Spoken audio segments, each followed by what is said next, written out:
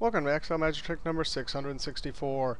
Hey, if you want to download this workbook and follow along, click on my YouTube channel, then click on my college website link, and you can download the workbook Excel Magic Trick 661 to 671. Hey, we're talking about the aggregate function, a new function in Excel 2010. I have some notes over here. We've been talking about all the different functions, 19 as compared to 11 for subtotal and all these amazing options for avoiding hidden rows or error values. Now in this one, we want to look at this one. Uh, ignoring nested subtotals and aggregate functions. Now this is not something I do often, but I know that people do do this. Here's subtotals, right? So we've added, uh, we, we use the subtotal feature. Um, and I have videos on that if you want to search for those. But here, this is all automatic. But there's a calculation subtotal subtotal. And this one is this particular one is adding. So people sometimes have values and subtotal calculations in a column. And what the aggregate function can do is it allows you to highlight the whole column, and the aggregate function will ignore any subtotals. So it's like a lazy man's way of doing additional calculations on the side and just highlighting the whole column. Now here's what would happen if you highlighted the whole column, right? Average. I want to calculate the average. It's going to include that and that.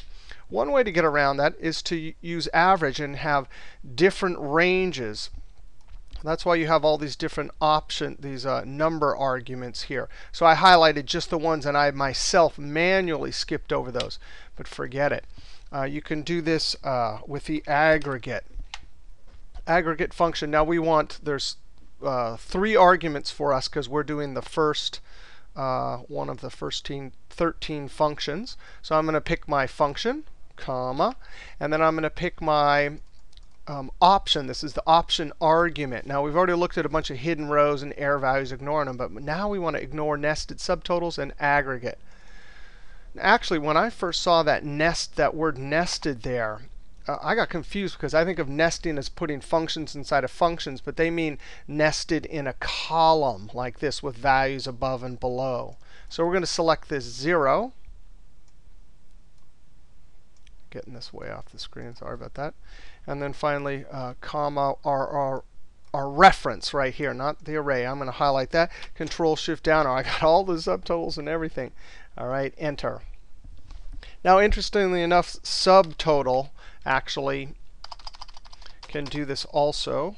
Subtotal, we do a 1. And actually, if you just doing this particular calculation, it's probably easier to do subtotal because you have to enter in one fewer arguments. Exactly the same thing. You can see those two functions here. However, where the, the aggregate starts to kick into high gear is median and mode. So if I take the same function right here. Uh, and change the median is 12. So you can see right down here, median is 12.